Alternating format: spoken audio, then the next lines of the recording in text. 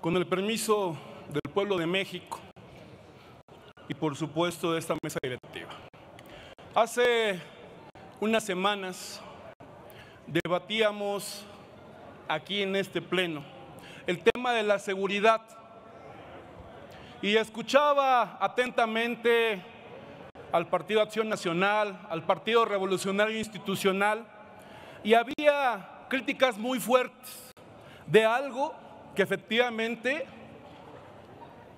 sucede en nuestro país.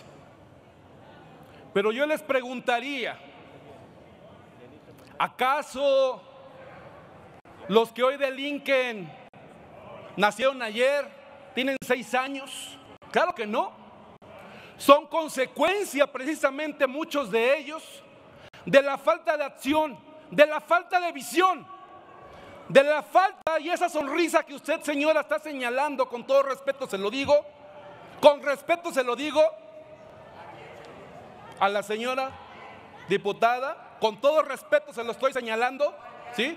Se está burlando. Permítame, está- permítame. No, no, no. No se admiten los la- diálogos en la asamblea. Bueno, está bien. Por favor, Con la orador, continúe y sonrisa que algunas orador personas también. tienen en esta sesión, ¿sí? En esta sesión, y que señala precisamente el olvido de esa crisis del 2006, del 2008, esa crisis del 94, que generó tanta pobreza y desigualdad en este país, y que eso no lo hemos visualizado, que solamente creemos que el delincuente nació ayer, pues por supuesto que no.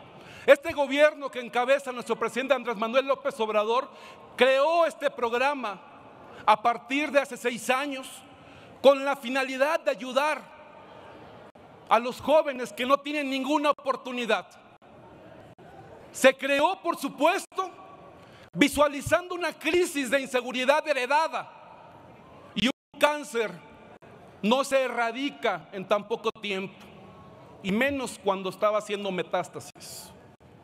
Por eso, no tan solo se acompaña este programa con una Guardia Nacional para combatir la inseguridad, no tan solo es el apoyo, porque no es una beca, es el apoyo hacia los jóvenes para tener una oportunidad. En algunas semanas o meses estaremos debatiendo un programa fundamental para la primera infancia, para que desde el origen vayamos combatiendo lo que hoy vive en México y no tengamos niños preocupados, violentados, con hambre, que pierdan los valores desde pequeños para que al rato sean nuestros raptores, sean nuestros sicarios. Eso es pensar con futuro, eso es pensar con visión. Eso es lo que un estadista como el presidente Andrés Manuel López Obrador ha concretado. Y aquí las risas sobran. Lo que debe de sobrar, lo que debe de tener este Congreso es el debate y diciendo las verdades.